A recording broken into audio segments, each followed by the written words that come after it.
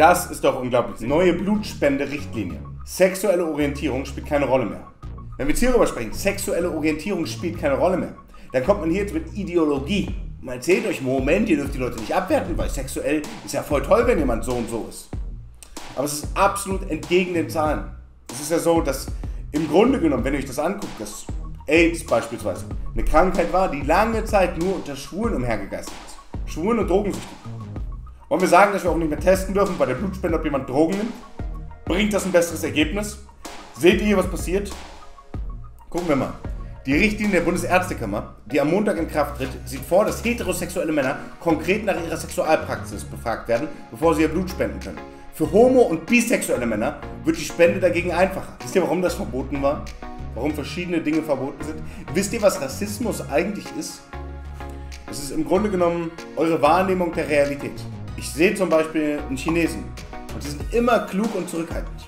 Das ist Rassismus, okay? Weil ihr habt ein Bild, das ihr aus der Realität bekommen habt.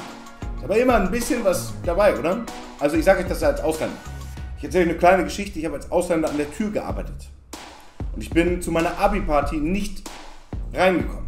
So, warum? Weil ich Ausländer bin. Die haben gesagt, ey, wir lassen dich nicht rein. Das ist doch für mich ungerecht. Ich bin ja jemand, der macht keinen Streit.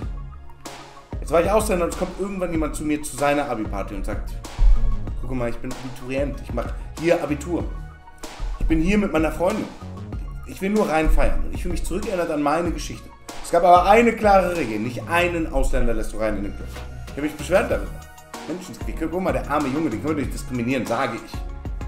Wisst ihr, was passiert ist? Zwei Minuten später ringt dieser Alarm. Der einzige Ausländer in dem Club hat einen Deutschen die Nase gebrochen. Wisst ihr warum? Fragt, bist du behindert wegen dir? Ich setze meinen Job aufs Spiel, sage ich. Ich sage, du Idiot, du hast mir doch gesagt, du wirst nichts machen. Er sagt, er hat meine Freundin angeguckt.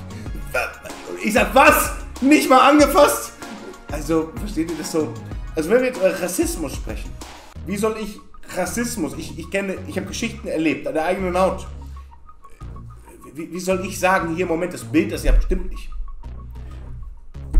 Arabische Großfamilien, egal über welchen Punkt wir sprechen. Wir können ja sagen, wir können das nicht auf jeden abwälzen, aber der Großteil ist so. Wie nennen wir das jetzt? Das müsst ihr entscheiden.